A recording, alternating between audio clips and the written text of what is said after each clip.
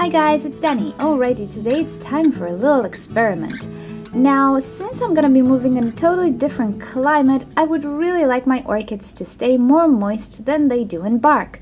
However, if I use moss, this will degrade pretty, pretty fast, so I would have to repot my orchids quite often. And I do want to try the clay pots as well, but as you know, roots attach to it, and whenever you repot, you're gonna seriously damage the root system of your orchid.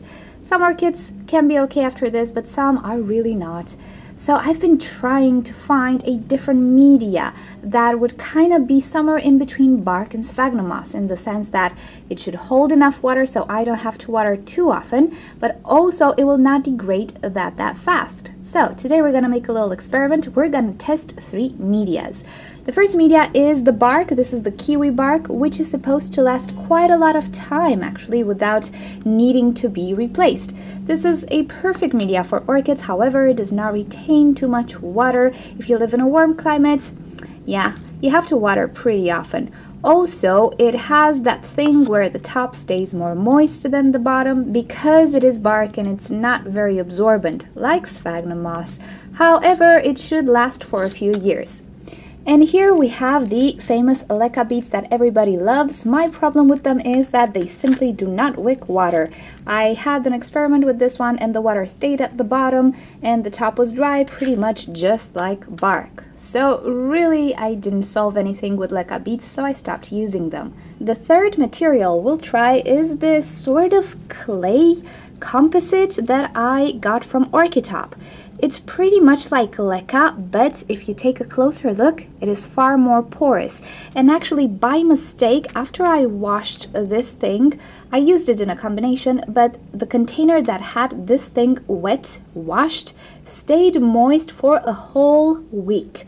So it got me thinking, what if this actually is water retentive? What if it is water absorbent, like sphagnum moss as well, but it is chunky enough to actually be as good as bark? So today we're gonna make a experiment with these three medias. The first thing we'll do is test their absorbency. And I have here a pretty dirty tray, but it's okay. What we're gonna do is place a layer of water, not to the top, but just a layer of water on the bottom of this tray and come back tomorrow and see if these media actually wicked any moisture. What I'm looking for is a pot which is evenly moist from the bottom to the top. If I would use sphagnum moss with this experiment, I already know the result because I did it and you can watch it here. The sphagnum moss will completely be moist from bottom to the top even if the water is only at the bottom. However, these other mixes don't have this property. But what if this does? Because this failed. So that's what I'm going to test today. So here we go. Here are the three little pots. They sit in water, but not to the top. So theoretically, if these medias are absorbent, tomorrow I should have moisture on the top.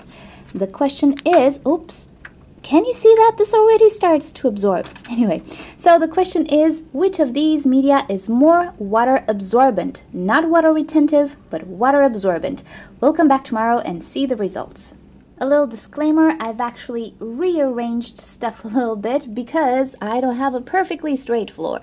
So this is less water, on this side there is less water than on this side. So I'm gonna give this the fewest chances to survive. So I'm gonna move these two guys where the water is not so shallow, so they have more chances, and this guy way up here, so he only has just a little tiny layer of water. Oh my god, he's already absorbing.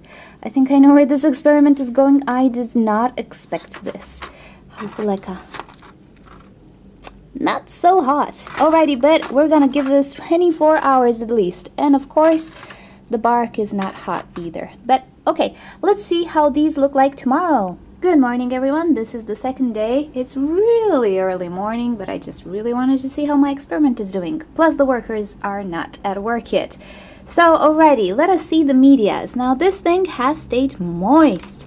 And when I say moist, I mean soaked. Like, can you see the droplets of water? Alrighty, so this passed the wicking and distributing the moisture test. Okay, let's look at leca. It's pretty dry. It's actually bone dry. Let's look inside the pot. As you can see, it did direct some of the moisture, but not all the way to the top. and this is a tiny tiny pot so you can imagine that in a bigger pot I did have a lot of trouble uh, making the water in the reservoir go up. This is one of the reasons why my plant, my Oncidium, was killed in this media about a year and a half ago or two when I made the experiment, I just don't remember.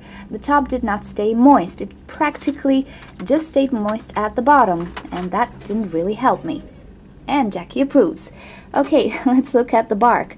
As expected, the bark did not wick anything. This is why bark is used because it does not retain too much water. It doesn't wick anything. It is a media very well suited for orchids who would rather stay dry. It's also used because it has this beautiful shape that does not compact. It's pretty much like this one, only does not stay too moist. Alrighty, I want to test the water retention now. So for this, I'm actually going to soak these two medias. This one is already soaked, but I will soak them for 10 minutes and let them dry. See if they dry evenly. Bark will not dry evenly. This is why you always have more water or moisture at the bottom of your pot than at the top. This does not happen with sphagnum moss because it is very water absorbent. Uh, but I want to see if this happens with this type of media and of course with leca, giving leca another go. So I will now soak these two guys.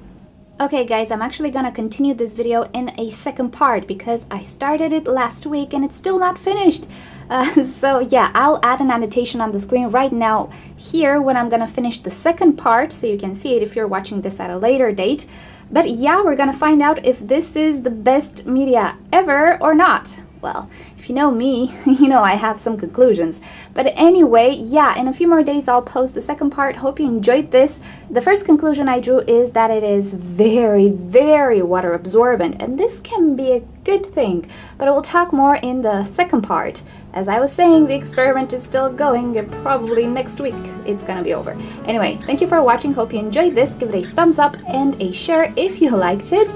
Also, subscribe to my channel if you want to see daily orchid videos from me. Feel free to leave me questions or suggestions in the comment section below and I'll get back to you. If you click on the left side of your screen, you'll be directed to orchidnature.com where you'll find care sheets, identification sheets, and also you can talk to us in the forum section. And on the right side of your screen, you can click to watch another orchid video. Thank you so much for joining. I'll see you next time. Bye!